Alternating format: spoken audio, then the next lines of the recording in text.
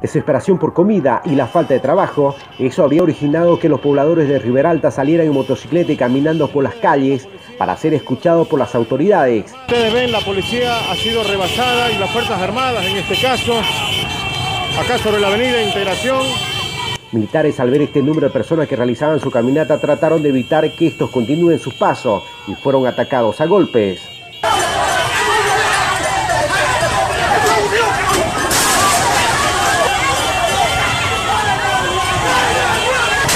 No se cansa.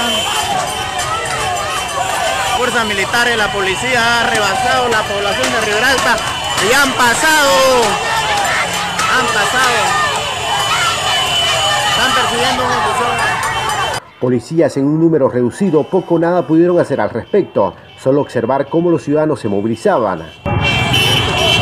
Como ustedes ven, la policía ha sido rebasada y las Fuerzas Armadas en este caso. Se espera que en las próximas horas puedan restablecer el orden mediante el diálogo con los pobladores de Riberalta, para así de esta manera evitar más enfrentamientos y que se acate la cuarentena en este departamento.